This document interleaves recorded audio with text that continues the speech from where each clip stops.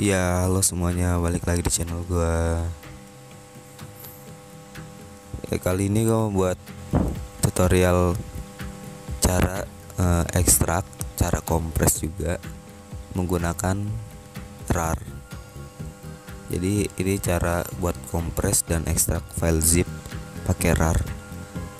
Mungkin banyak kalian yang udah tahu juga banyak. Mungkin sebagian juga belum tahu. Nah, jadi di sini gua eh, mau buat tutorial untuk uh, apa uh, ekstrak dan kompres. Tapi sebelum lanjut jangan lupa buat like dan subscribe channel gua biar gua lebih semangat untuk membangin video dan buat tutorial lainnya. Oke okay, thank you guys. Nah sekarang kita langsung ke tutorialnya. Pertama adalah lu harus download RAR dulu. Ada di Play Store lu cari rar. Nah kalau udah lu download terus lu open.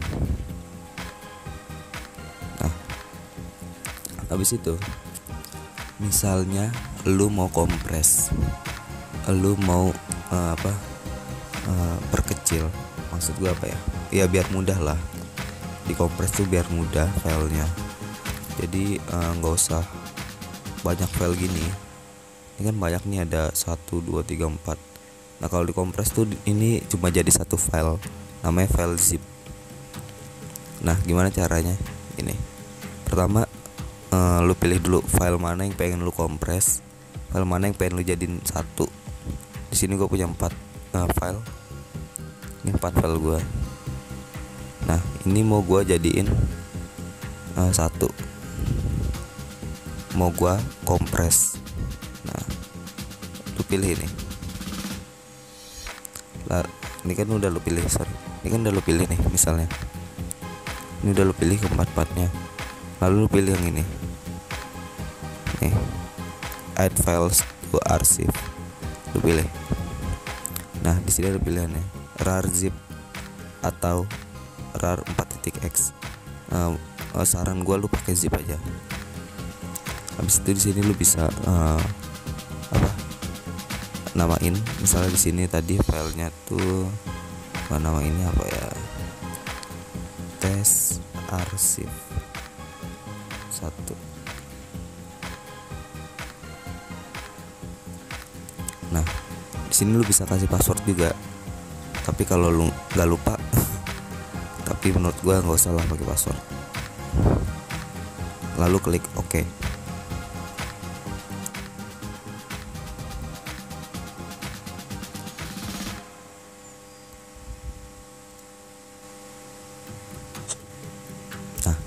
ini file file yang tadi uh, kita kompres. Ya kan? Lu kalau mau lihat bisa klik aja. Nah ini filenya.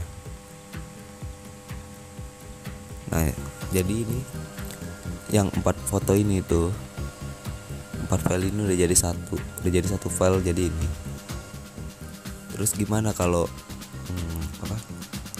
Lu mau uh, buka lagi lu mau keluarin lagi caranya gampang banget. Lu tinggal klik uh, tes arsipnya. Terus lu pilih ini ekstrak file.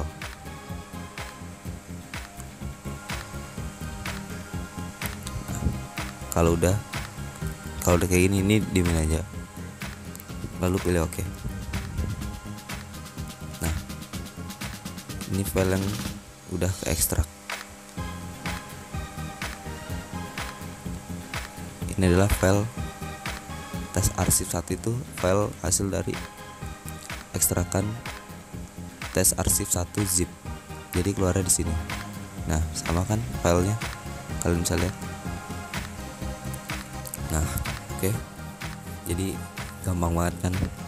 Ya gue pikir sih mudah lah. Kalian juga cepet lah ngerti ini. Oke okay, sekian tutorial gue kali ini. See you.